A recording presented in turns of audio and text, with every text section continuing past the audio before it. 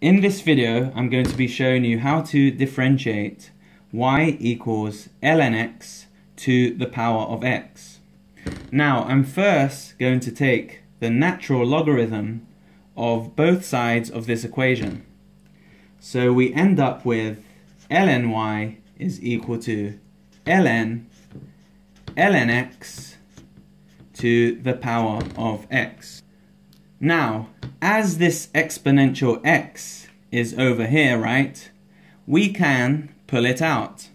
So we get ln y is equal to x multiplied by ln ln x. Okay? Now, we can say, okay, that u is a function of x and that v is a function of x. And we can say that the derivative of this side of this equation is going to be equal to u multiplied by dv over dx plus v multiplied by du over dx. Okay? And to differentiate this side of this equation, we are going to use implicit differentiation. Now, before we differentiate this whole equation, okay, we are going to say that u is equal to x. And this means that du over dx is going to be equal to 1. We are also going to say that v is equal to ln ln x, okay? Which is equal to ln p. Now dv over dp is going to be 1 over p, which is 1 over ln x. p itself is equal to ln x. Therefore dp over dx is equal to 1 over x. Now using the chain rule, we are going to get dv over dx. So let's multiply dv over dp by dp over dx. And that is going to be equal to 1 over x times ln x, okay? And this is equal to dv over dx.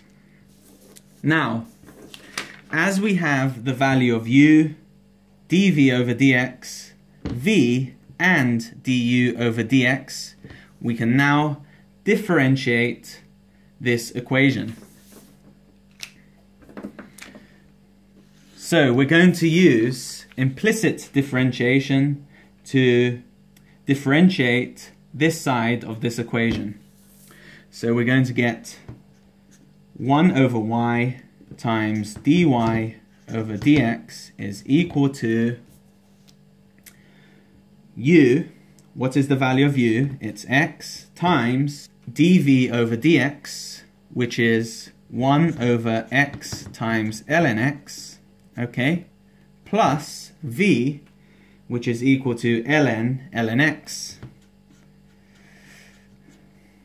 okay, times du over dx, which is equal to 1. Now, as we have an x at the top of this fraction and an x at the bottom of this fraction, we can cancel out these x's over here. Okay? So we get 1 over y times dy over dx is equal to 1 over ln x plus ln ln x. Okay? Now, what are we going to do from here? Well, we're going to multiply both sides of this equation by y so that we can isolate dy over dx. So I'm going to multiply this side of this equation by y and I'm also going to do the same to this side of this equation. So we get dy over dx is equal to y multiplied by this value inside these brackets. But what is y again? Well, y is ln x to the power of x.